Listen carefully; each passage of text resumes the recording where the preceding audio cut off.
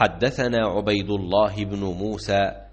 قال أخبرنا حنظلة بن أبي سفيان عن عكرمة بن خالد عن ابن عمر رضي الله عنهما قال قال رسول الله صلى الله عليه وسلم بني الإسلام على خمس شهادة أن لا إله إلا الله وأن محمد رسول الله وإقام الصلاة وإيتاء الزكاة والحج وصوم رمضان.